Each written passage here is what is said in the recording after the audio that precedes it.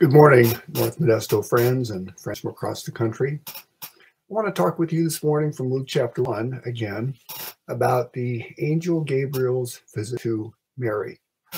What was going on when he came to her? We saw she was nobody from nowhere. It says, Hail, favored one, the Lord is with you. What's going on in those verses? Let me give you an anecdote to help explain. Back in the early 2010s, we lived in Rochester, New York, and we had a beloved dog that died. So after some grief time, we went down to the rescue shelter and came home with a husky named Dakota. Now, if you know anything about huskies, huskies are runners.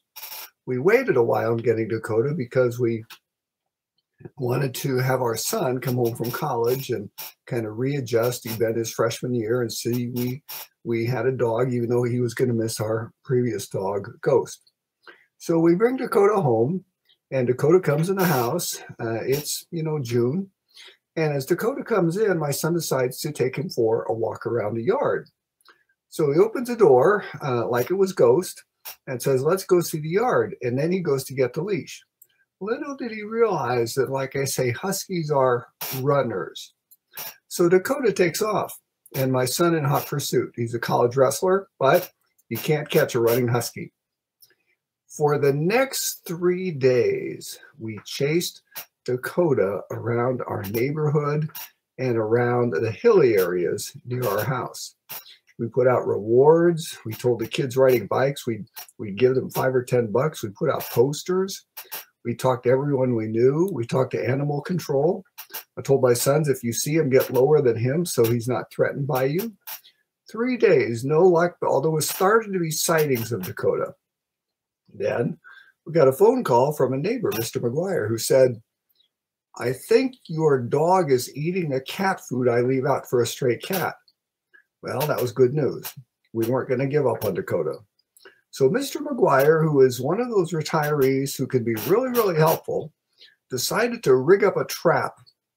So he put a path of cat food into his garage and then set an electronic trap so when Dakota followed the cat food into his garage, all of a sudden the door behind him would close shut. He'd be trapped and we can bring him home. All we wanted to do was give Dakota the Husky a good home. A home where he'd have plenty of food, home where he'd have plenty of water, where he'd be warm in the winter and cool in the summer, where he'd experience love. Now, in the home, there'd be rules. He wouldn't be able to poop wherever he wanted. He wouldn't be able to gnaw on the electrical cords, but we wanted to give him a good home where he could just enjoy his life in peace. Well, Mr. McGuire rigs up his trap, and then at about two in the morning, I get a phone call. Tim, it's Mr. McGuire we got him. And so we went over, hooked Dakota up his leash. Uh, quite calmly, he walked home with us, walked right into our bedroom, uh, laid out on the floor in the mat we had for him, and slept pretty soundly for about three days. He was home. What's Gabriel doing when God sends Gabriel to Mary? God is saying, like Jesus would say in Luke chapter 19, He's come to seek and save the lost. God is saying, like the prodigal son's father, the real hero of the story in Luke chapter 15, I am preparing a home for you. You've tried it your own way and that hasn't worked out. Now it's time to come home.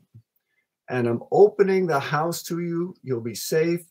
You'll be secure. You'll have your food. You'll be warm enough when it's time to be warm and cool enough when it's time to be cool.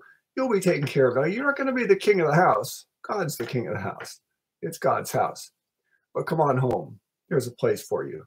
Your own way. You're just wet, tired, hungry, and angry. When Gabriel comes to Mary, that's the message.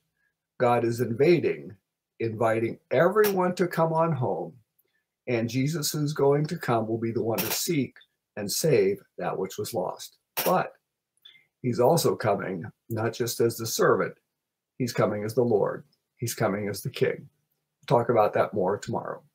Keeping your prayers. I feel like I'm doing better. I'm getting stronger, but but still have a long ways to go. Um, I told Dean on the phone I'm not fighting in Iraq or working in a coal mine, just recovering from surgery. And God is gracious and God is merciful. And I, I thank God a thousand times. Many will see and fear and will trust in the Lord, I hope, because of his great work towards me. God bless you. Serve the Lord. Seek the kingdom of God. Read the Bible and pray every day and look for ways to tell others about the glorious message of our Lord and Savior Jesus Christ. God bless you.